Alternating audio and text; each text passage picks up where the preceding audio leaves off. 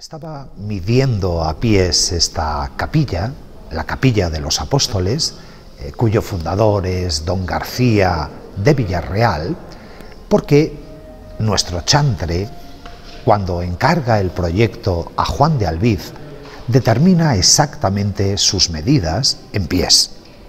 La capilla en el andén de la iglesia mayor, al lado de la de los marqueses de Moya, tendrá 31 pies de largo y 25 de ancho. Si pensamos que el pie de la época mide aproximadamente entre 29 y 30 centímetros, el pie castellano, la edificación de esta capilla se ajusta exactamente a estas medidas. El interior es eminentemente renacentista debemos a Juan de Albiz esta maravillosa construcción. Las seis monumentales columnas que ahora contemplamos, revestidas de talla romana, están rematadas todas ellas por el escudo del fundador en un tondo, corona floral y con capiteles con volutas. Su decoración es riquísima, cabezas, mascarones, hojas de acanto.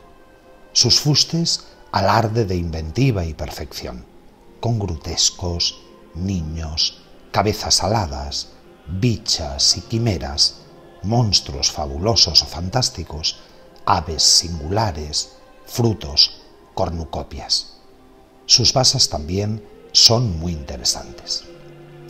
Albiz se comprometió a construir la capilla en un año y una vez concluida la obra, al chantre nombraría un maestro para que vea y examine las muestras ansí de la capilla como de la portada y vea las condiciones.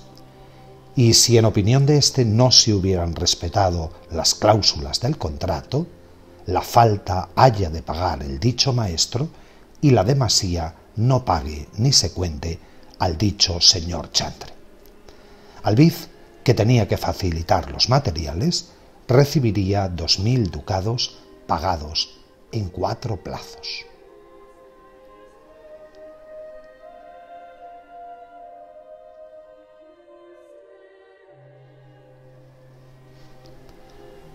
El 14 de diciembre de 1527 se da a nuestro chantre licencia para construir la capilla.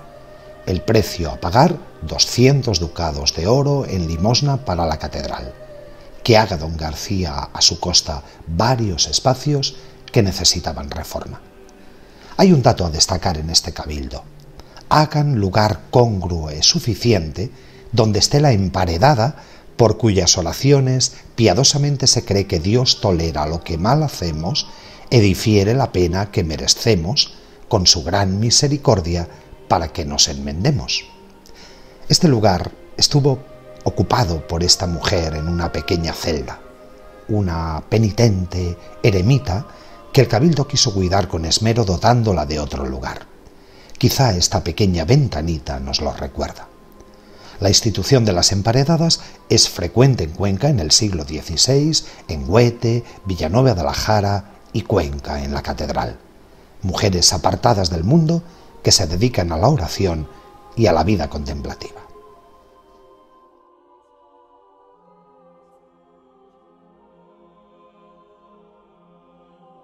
El retablo mayor de la capilla de los apóstoles es uno de los altares más suntuosos y monumentales de la pintura conquense del siglo XVI.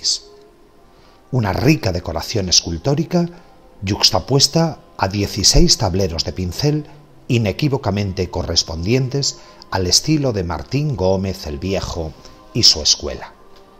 En la calle central nos encontramos de abajo arriba con el entierro de Cristo, la resurrección, la ascensión que contemplamos y el Padre Eterno a lo alto bendiciendo.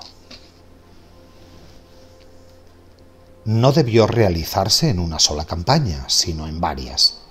En la primera se terminaría la mazonería, que según la obligación de Giraldo de Flugo, estaba asentada en su altar de la capilla de los apóstoles antes de junio de 1560 Quedaban por entonces aún sin decorar las dos grandes cajas de la calle central del retablo, cuyas historias de medio relieve se le encomiendan entonces a Flugo.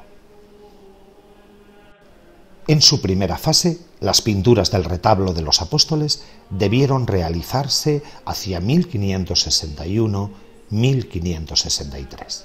Esta puede ser la última ocasión conocida de trabajo de Martín Gómez el Viejo. Juan de Albiz diseñó esta capilla dividida en dos tramos que cubre, según se acuerdan las condiciones, con bóveda de crucería, guarnecida toda la dicha bóveda con su buena argamasa por la parte de encima.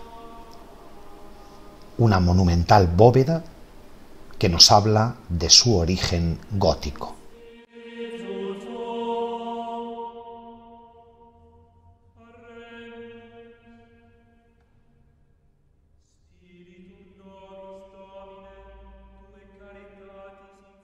Otro de los magníficos detalles de esta capilla es esta tribuna para los músicos, decorada con una excelente reja.